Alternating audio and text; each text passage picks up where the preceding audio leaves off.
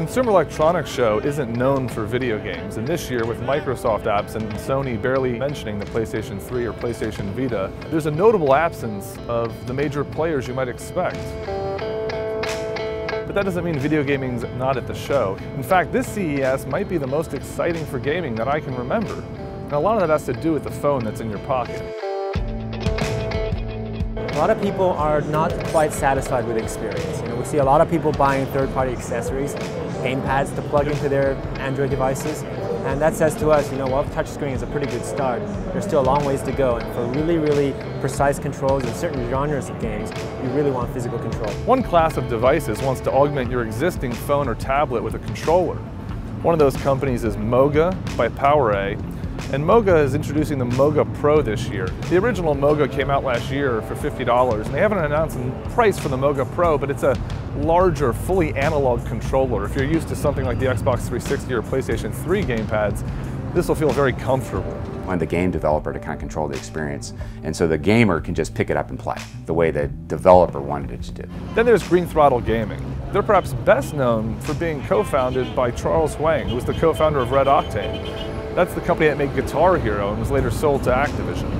Green Throttle is making a controller called the Atlas, which again, if you're familiar with a you know, Xbox 360 or PlayStation controller, should be very familiar. The controller retails for $50. They're selling it direct. And they're working with developers to customize their games to work with their platform, which is called the Green Throttle Arena. We developed a plugin for Unity. Unity is an incredible platform for doing games on mobile. And um, a lot of mobile guys are, are seeing that as a way to kind of avoid the complexity of all the different platforms that are out there. They're trying to make a very familiar console-like environment. The controllers enumerate one through four. When you back out of a game, you're back into the arena, and they're really focusing on things like multiplayer, being able to play with two controllers or four controllers on one television screen or on your tablet. Well, both Moga and Green Throttle are asking you to bring your own device, whether it's a phone or a tablet. There are other players that are trying to do an all-in-one solution so that you don't have to worry about having your own device. What people are seeing right now is just the beginning stages of what you could do with a game on, on, a, on a mobile device. And it, in the coming years, it's going to be very interesting to see what happens with a crossover from games on console to mobile devices. How do you help promote the mobile game developer to get into the space? The console space is really well addressed. You know, you have consoles like PlayStation, Xbox. Um, I don't think it really makes sense to, to do something uh, again in the, in the console space. Ouya, which at $8.5 million remains the second most successful Kickstarter project of all time. The Ouya is a $99 Android console running the Tegra 3 chipset. And what they're trying to do is create an all-in-one solution that you hook up to your television, you use their controller, you don't need to bring your own device, and developers can support the Ouya directly. With its success on Kickstarter, they seem to have really kicked off the discussion about Android as a gaming console and as a gaming platform. And it really encouraged users to rethink the way they think about Android. At just $350,000 with 20 days left in their Kickstarter, the Game Stick isn't as successful as Ouya and probably never will be. But what they're doing is interesting.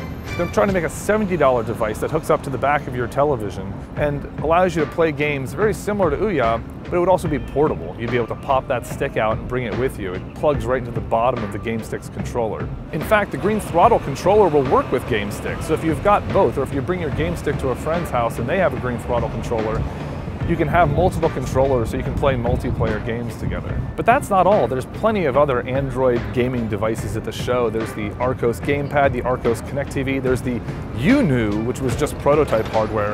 And while all these products might not be successful, there's no shortage of companies trying. One of the biggest surprises of this year's CES was NVIDIA's Project Shield. It's a Tegra 4 powered gaming device that they're selling and making themselves directly. NVIDIA doesn't normally make its own hardware. What's been really important in recent years is this, is this move to mobile, right? Um, everyone is talking about it. We're doing more and more of our computing in our pockets with our tablets. Um, and we have developed a lot of expertise in the processor technology space with Tegra. A Shield uses Tegra 4, which is our latest version of this uh, processor. It's got six times the rendering horsepower of Tegra 3. So we've developed a lot of competencies with portables, and we feel like that gives us, we have all the right components to build that and develop something compelling for the portable space. The Shield uses a 5-inch 720p touchscreen, but it also has a full dual analog gamepad, which again, if you're familiar with an Xbox or PlayStation controller, you'll find very comfortable. What's notable about the Shield is it's designed to really focus on the Tegra Zone. That's NVIDIA's uh, library of Tegra-powered games. They're showing off games here like Hawken or Sonic Episode 2. Uh, and they're really focusing on making a console-like experience. In fact, you can hook up your Shield to your television to have an even more console-like experience. Where the Shield is different is in the overall quality. The device is very powerful, it's very well built, it has high-end specs. It remains to be seen if NVIDIA is going to be able to get the thing to consumers at a price that they find reasonable.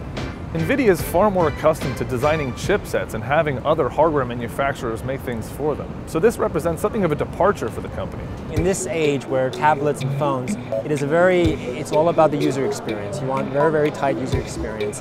And we, we just, we've looked at the stuff out there and nothing really, I think, has captured the possibility of um, what can be done with this generation of streaming portable technologies. So we decided, you know, since no one is doing a great job, and since we have all the key components already, we might as well as put our expertise together and build something that's great that we can sell directly to the end user. If that NVIDIA strategy sounds familiar, it's because it's an awful lot like Valve's strategy for its Steam Box. Of the long-rumored Steam Box, Valve's Gabe Newell told The Verge, we'll come out with our own and we'll sell it to consumers by ourselves. He mentioned it would be a Linux box and that if consumers wanted to put Windows on it, they could. It wouldn't be difficult. Valve's focus on big picture mode is an effort to get gaming PCs into the living room, but that requires the cooperation of hardware manufacturers to make devices that are smaller, cooler, quieter, that have an aesthetic that fits inside your living room. Valve's here at the show meeting with other hardware partners to create these devices in addition to the one it's making itself. XI3 announced at CES an investment from Valve specifically to create the piston. Razer is also at the show showing off the Razer Edge. You might remember this from last year as Project Fiona. The Razer Edge is a 10-inch x86 Windows 8 powered tablet, weighs about two pounds, and comes with a handful of accessories. There's a, the Project Fiona-like motion controller which clips onto the back and provides two sort of PlayStation Move controllers on the sides. There's a keyboard dock, there's also what they're calling the console dock. The console dock allows you to hook up the Edge to your television over HDMI and use it with an external controller, in effect creating a Steam box. At 99 for just the tablet, and a lot more than that with all of the accessories, the Razer Edge is not the cheapest Steambox solution, making Valve's goal of building its own a lot more sensible. One other potential Steambox solution is again, NVIDIA's Project Shield. The device is able to stream gameplay directly from an NVIDIA-powered gaming PC in your house to the Shield, and from there, you can outport it to a television. What all these devices point to is a new opportunity for hardware manufacturers to create new devices around open gaming platforms, platforms like you know, the Windows PC or Android. This is a complete reversal from the console model, which uses a closed hardware ecosystem to create a closed software ecosystem. If you look at the innovation that happens on a console, uh, where you've got seven, maybe eight years of iteration after the next console comes out, mobile, it's happening at a rapid, rapid pace. In the beginning, every six months, we were coming out with graphics cards twice as powerful as the last generation. So the pace was just enormous. and developers had this very wide span of hardware they could target. Um, but you know, while that's, that, that's challenging from a development perspective, that's also very rewarding because you can develop games that's absolutely cutting edge. That's not possible on last generation stuff, and that can really set your game apart from what's out there already. These new open software ecosystems provide a lot of opportunity for developers and for gamers to find new experiences and to play games in different ways. And if none of these devices succeed, at the very least they represent something of an experiment, something of a new opportunity to think about our gaming consoles, where and why and how we play games. There is one X factor in all of this, and that's Apple. Apple maintains a tight control over what devices are allowed to hook up to its products.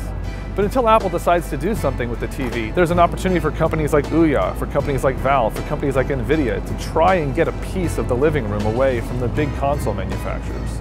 You can think of these products as experiments, and even if none of them succeed, they at least give us a glimpse into what might be possible from the future of gaming.